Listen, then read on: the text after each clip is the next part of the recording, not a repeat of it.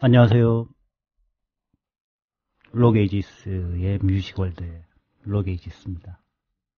9월 23일 첫 방송을 시작으로 해서 10월 7일 오늘 세 번째 방송 시간을 맞습니다.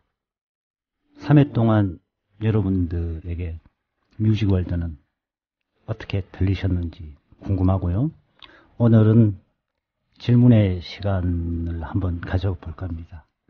여러분들이 궁금하셨던 점들 게시판을 통해서 질문을 해 주시면 제가 대답하는 그런 시간을 가져보도록 하겠습니다. 호구조사는 빼, 고요 다른 것들 많이 질문을 해 주셨으면 좋겠습니다. 10월 7일 수요일 뮤직월드는 오스트리아 출신의 고딕 메탈 밴드죠. Dreams of Sanity의 The Phantom of the Opera로 시작합니다.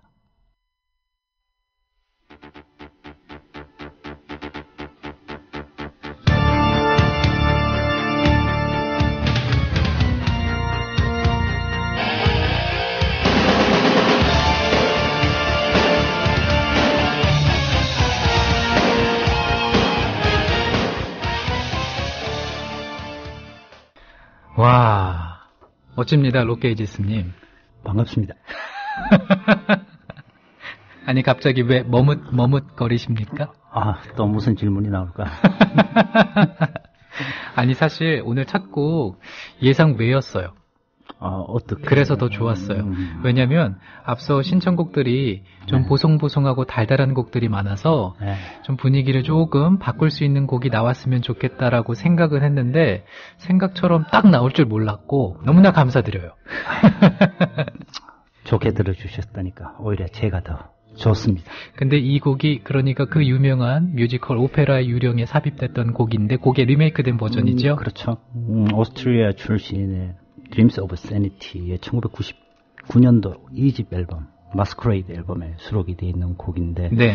이 곡은 여성 보컬리스트 Sandra Schleret가 혼자서 불렀다고 그러면 상당히 조금 그 맹숭맹숭한 음악이 됐을 텐데 왜요? 그 남성 보컬이 아. 워낙 그 뛰어난 보컬이죠 라크리모사 출신의 남성 보컬리스트 틸로 울프가 틸로 울프. 함께 해줌으로 인해서 아주 그 극적인 드라마틱한 면이 더 부각이 된 노래가 됐다고 굉장히. 그 음성이 카리스마가 넘치는 네. 예, 그런 느낌. 네, 맞아요. 네, 중점역에 아주 음, 그렇군요.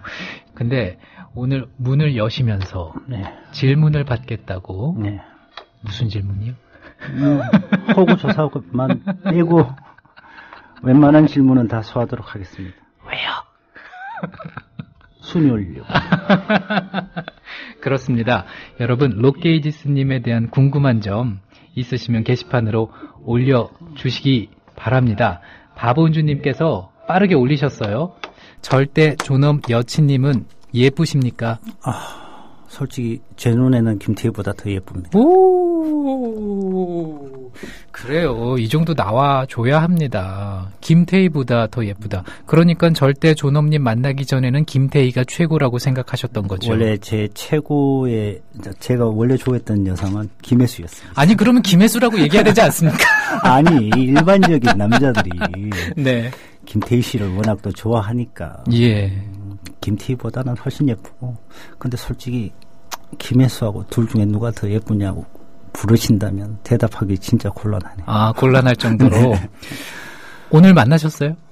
못 만났죠? 오늘은 못 만나시고. 네, 방송 때문에. 아, 자꾸만 그 방송을 들어보셨는지 절대 존엄님께서 말이죠. 궁금해집니다. 모니터링 하고 있는 걸로 알고 있습니다. 예, 뭐 이런 조언 같은 건 안 해주십니까? 좋은 말좀 꼬였다. 말 좀 꼬인다. 어, 저 앨범 연도 잘못 얘기했다. 바로 수정한 게 오게티다 등등. 약간 좀 두 분께서 닮으신 것 같아요. 음, 아, 그런가요? 그렇죠. 약간의 어떤 그런 잘못된 부분 콕콕 집어서 이렇게 네, 바로 잡아주시는 그런 건 있는 것 같아요. 예. 그렇습니다. 근데요, 오토케 오토케 요게 네. 우리 롱님의 이제 닉네임이 돼버린 듯 합니다. 호가 됐죠, 호가. 색동별님께서 사라 브라이트만이 부른 노래도 참 좋은데 이것도 괜찮습니다. 약간 음산한 느낌도 들고요. 이런 얘기 하셨어요. 네, 요게 좀 특징이라면 특징이라고 할 수가 있나요? 근데 사라 브라이트만은 노래를 잘하지만 어떻게 보면 목소리가 너무 가늘잖아요. 예. 좀 약한 그러면 약하면서 고음이 올라가는 데 비해서 음. 지금 오늘 들려드렸던 Dreams of Sanity의 Sandra Schleret 같은 경우에는 그 목소리가 두께도 어느 정도 있으면서 나름 고음도 잘 올라가는 아주 글쎄요 제 개인적으로는 사라 브라이트만보다는 산드라 슈틸리히를 더 좋아합니다. 음, 그렇구나. 근데 오늘 방송 컨셉을 네. 조금 더 많이 띄워보자고 했는데 네. 오늘은 음악에 대한 얘기가 많이 흘러나오고 있습니다. 아니 뭐 질문을 안 해주시고 그러시 그죠? 우리 싸미 청취자분들 롱님에 대한 궁금증 게시판에 올려주시기 바라면서 두 번째 곡 한번 들어보죠. 아, 두 번째 곡은 핀란드 출신의 symphonic 밴드죠. Nightwish의 Walking in the Air를 골랐습니다. 이 Nightwish 같은 경우에는 이 Walking in the Air 한 곡으로 국내 매니아들 사이에 이름을 알려지게 됐고요. 그 전에 데뷔 앨범이었던 Angels Fall First Angels Fall First 아 여기서 꼬이네요. 괜찮습니다. 그 앨범이 이 Walking in the Air가 인기를 얻음으로 인해서 다시 국내 라이센스가 되기도 했었습니다. 한번 오늘 한번 같이 한번 들어보시죠. Nightwish입니다. Walking in the Air.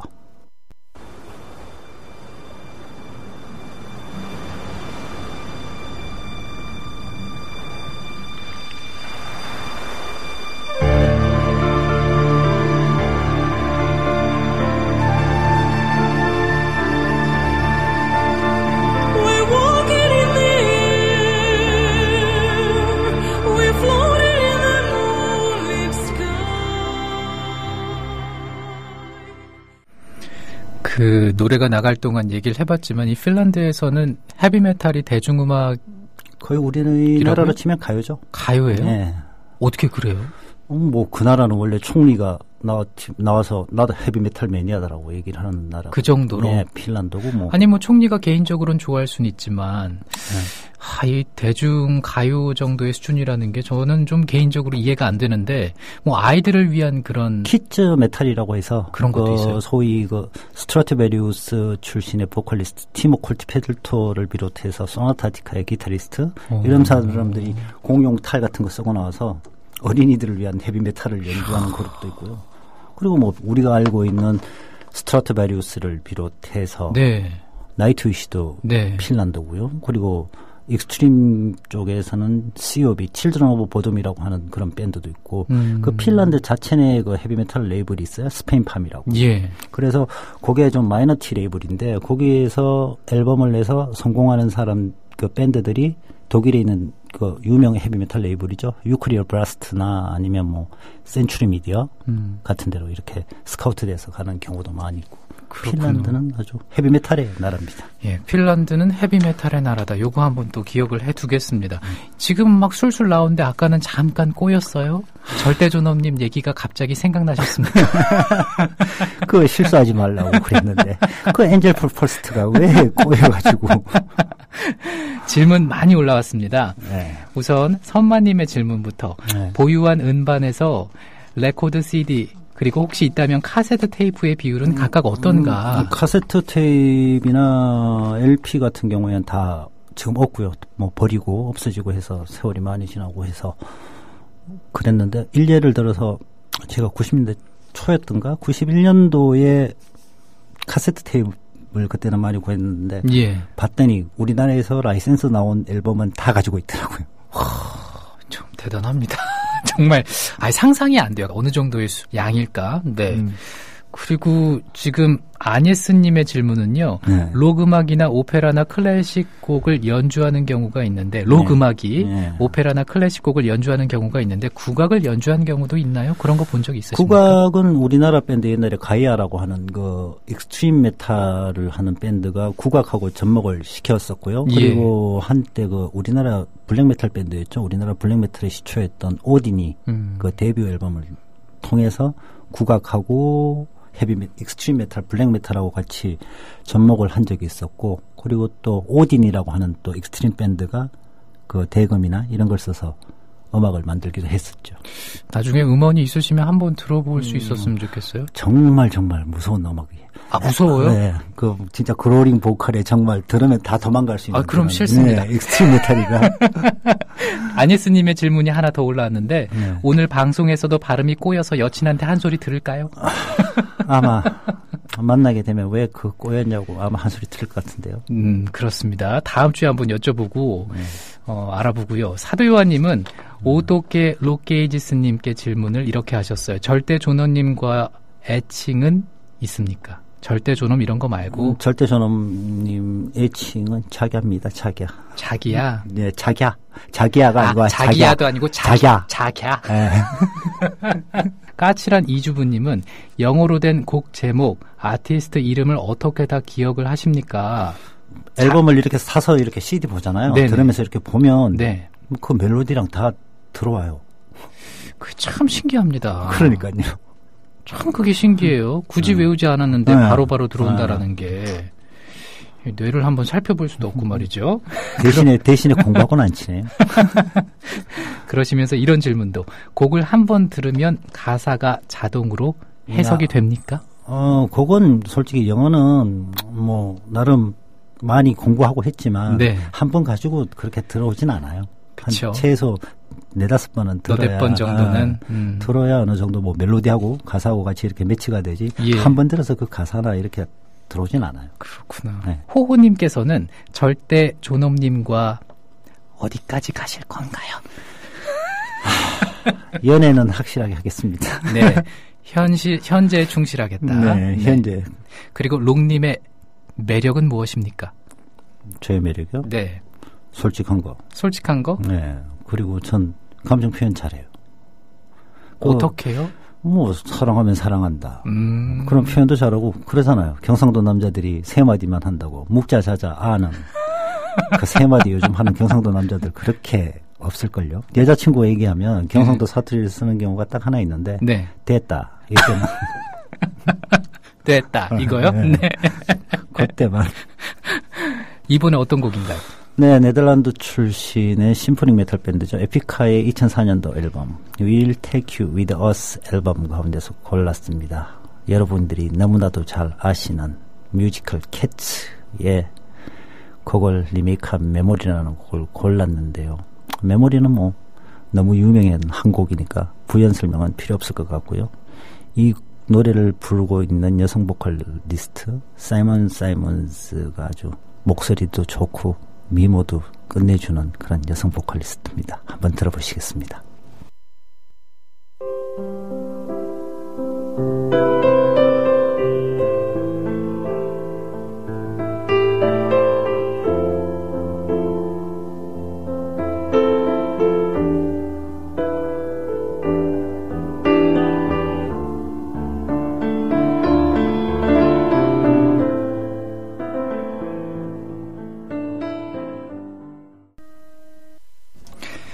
네, 핀란드에 이어서 네덜란드로 여행을 떠났습니다. 네. 아, 일단은 정정을 좀 할게요. 예. 보컬리스트 이름이 사, 사이먼 사이먼즈가 아니고요. 예, 예. 시모네 시몬즈입니다. 아, 그래요? 네, 나라는 합니다. 맞죠? 네, 네덜란드 출신의 symphonic metal 밴드 맞습니다. 네. 에피카. 청라에서님께서 loose하다 취소합니다. 전이 노래 너무 좋아요. 우리 다 감동을 해서 말을 잊었어요라고 하트까지 날리셨어요.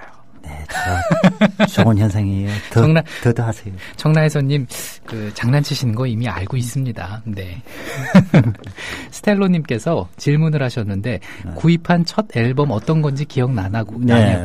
구입하면 앨범은 초등학교 4학년 때 마이클 잭슨 스릴러 앨범 그 당 그 당시에 카세트 가격이 2,500원이었습니다. 2,500원 주고 CBS 소니 네. 발매 그 스릴러 앨범 처음 샀었습니다. 초등학교 4학년 때요. 네. 아니 어떻게 마이클 잭슨이라는 그 인물을 알게 되셨으며 그 곡을 어떻게 듣게 아, 되셨어요? 형이 듣는 거 듣고 예. 어 이게 누구야? 그랬더니 마이클 잭슨이래요. 그래서 레코드 가게 가서 아줌마 마이클 잭슨 앨범 주세요. 그러니까 그 스릴러 앨범 주더라고요. 굉장히 그 저기 문화적인 충격을 받으셨나 봐요. 마이클 잭슨 노래를 듣고. 아, 그런데 제가 사는 그 고향이 네네. 그 후포라고 하는 아주 시골이거든요. 그쵸, 고향이 아니, 그쪽이시잖아요. 네, 후포라고 해서 그 면단인데. 네. 근데 전 거기에 있으면서 더 좋은 게 뭐였냐면 거기는 옛, 옛날에 거기 신나라 레코드라고 그 대양 그 오대양 사건으로 그 유명했던 그 종교에 있는 그 레코드 회사 신나라 레코드 음, 알아요. 네. 네네. 그 15톤 탑차가 왔었어요. 2주에 한 번씩. 두 주에 한 번씩이요? 네. 거기에 왜요? 그 앨범을 그 이제 레코드 가게가 있으니까 그 앨범 아. 그러니까 얼굴이 친해지니까 사람들이 이제 야 네가 들어가서 골라 이렇게 된 거예요. 그래서 CD 이런 거 제가 마음대로 고르고 더 좋았었어요. 아, 그랬구나. 네. 쿠루루님께서 롱님의 전공이 궁금하다고 하셨어요. 전 안경과학과. 안경과학과 과- 출신. 안경광학 광학과. 예. 요것도 좀 독특합니다. 어, 가을님께서는 롱님 제일 좋아하는 음식이 뭐냐고. 음, 저 제일 좋아하는 음식 초밥이요. 초밥. 네, 이유가 뭔가요? 맛있어요. 아니, 근데 거기 그 얘기 들으니까 뭐 더 이상 이유가 뭔가요? 라는 질문을 할 수가 없겠다. 초밥, 네. 피자, 스파게티 무진장 좋아합니다. 근데 고기 안 드시잖아요. 네, 채식주의자죠. 그리고 일일 일식 하시잖아요. 예.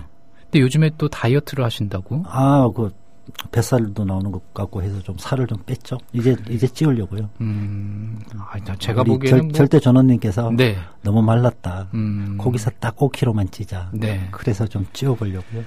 그렇습니다. 아, 지금 롱님의 어떤 궁금한 점에 대해서 질문을 풀어드렸고요. 네. 이제 좀 보내드려야 될 시간이 됐습니다. 10분밖에 남지 않았기 때문에. 오호. 마지막 곡 어떤 곡으로 들을까요? 아, 지금 마지- 세 곡이 남았어요. 세 곡 중에 그럼 La Maritza로 듣죠. 세리온의 La Maritza. 네. 요걸로. 예. 세리온은 스웨덴 출신의 symphonic metal 밴드인데요. 음, 이 앨범은 그 세리온이 결성 25주년을 맞아서 발매한 앨범입니다. 그 앨범 타이틀은 여러분들이 잘 아시는 그 샤를 아, 또 여기서 또 막히네요. 샤를 보들레르의 네. 악의 꽃 그 타이틀을 앨범 타이틀로 한 건데요. Les Fleurs du Mal이라고 하는 타이틀로 해서 낸 앨범인데 오늘 소개해드릴 La Maritza는 여러분들이 잘 아시, 알아, 아시는 아 왜 이러죠 오늘 실비 바르타. 실비 바르땅의 곡을 symphonic metal로 연주한 곡입니다. 고맙습니다. 아 그리고 우리 다음 주에 봐요. 롱님 보내드리죠. 고맙습니다. 네 감사합니다.